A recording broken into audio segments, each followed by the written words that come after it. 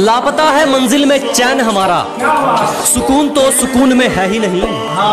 अजी, लापता है मंजिल में चैन हमारा। सुकून तो सुकून में है ही नहीं। और मौके तो बहुत मिले जनाब मशहूर होने के।